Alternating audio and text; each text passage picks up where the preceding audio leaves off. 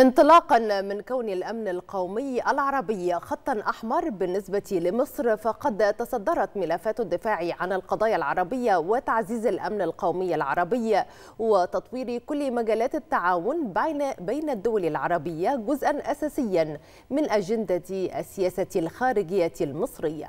وتمثل مصر بحكم ثقلها السياسي والاقتصادي قاطرة العمل العربي المشترك وترسيخ الأمن والاستقرار وتحقيق التنمية في المنطقة العربية.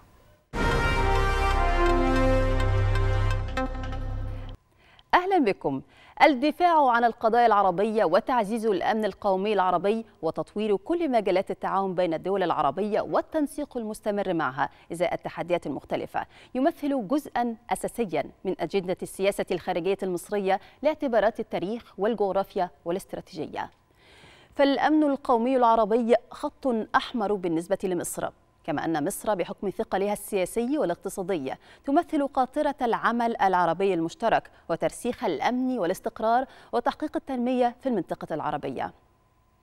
يشكل الدور المصري صمام أمان مهما للدول العربية الشقيقة في مساعدتها على تجاوز التحديات السياسية والاقتصادية والأمنية التي تمر بها انطلاقا من ثوابت أساسية تحكم السياسة المصرية وتتمثل في دعم وتعزيز الدولة الوطنية العربية والحفاظ عليها وعلى مؤسساتها الشرعية وعلى رأسها الجيش والشرطة ورفض الاعتراف بأية ميليشيات إرهابية ومتطرفة تنفذ أجندات خاصة بها تتعارض مع المصالح الوطنية. كذلك الحفاظ على وحدة وسيادة واستقرار الدول العربية ورفض التدخلات الخارجية في شؤونها وكذلك مساعدتها في تحقيق التنمية الشاملة والمستدامة.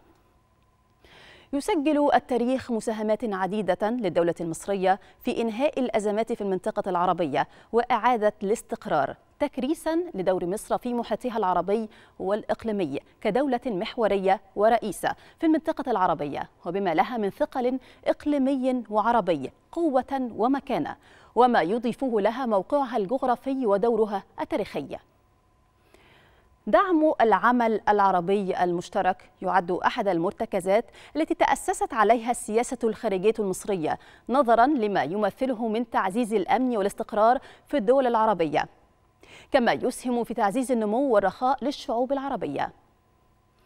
تعد القضية الفلسطينية قضية مصر والعرب الأولى فمنذ عام 1948 أولى صانع القرار المصري اهتماما كبيرا بالقضية الفلسطينية وعبر أكثر من نصف قرن عملت الدولة المصرية على دعم الحقوق العادلة لأبناء الشعب الفلسطيني. والتي على رأسها إقامة دولة فلسطينية مستقلة عاصمتها القدس الشرقية على حدود الرابع من يونيو 1967 أما في لبنان فمصر كانت ولا تزال صاحبة دور قوي ووقفت خلال مرحلة استقلال لبنان عام 1941 إلى عام 1943 إلى جانب استقلال وسيادة وحرية لبنان. ومنذ عهد الرئيس الراحل جمال عبد الناصر ارتكزت العلاقات اللبنانية المصرية بشكل وثيق على تحقيق توازن بين الحفاظ على علاقات جيدة من ناحية والاحتفاظ باستقلال لبنان وتحقيق المصالح اللبنانية من ناحية أخرى. واليوم كانت مصر في مقدمة الدول التي تقف بجوار لبنان في كافة الأزمات الطبية والاقتصادية والسياسية. وفي سوريا نجد مصر حاضرة وبقوة.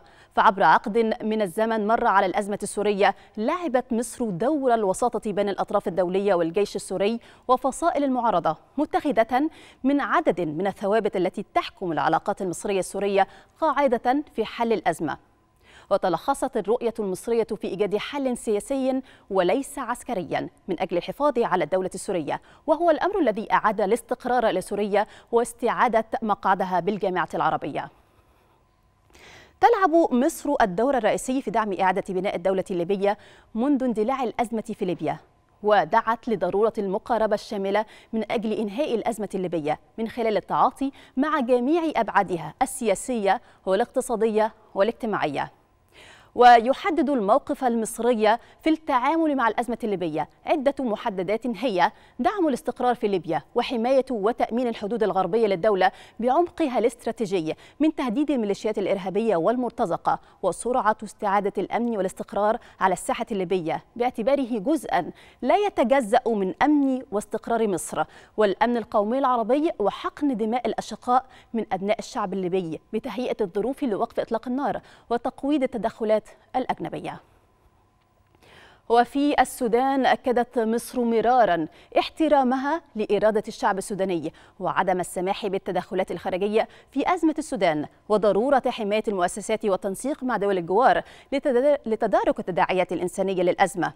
وطلبت مصر الأطراف السودانية بتغليب لغة الحوار والتوافق الوطني وإعلاء المصالح العليا للشعب السوداني الشقيق وذلك في إطار تبني مصر مبادرة إسكات البنادق عام 2019 لإنهاء النزاعات والحروب بالقارة.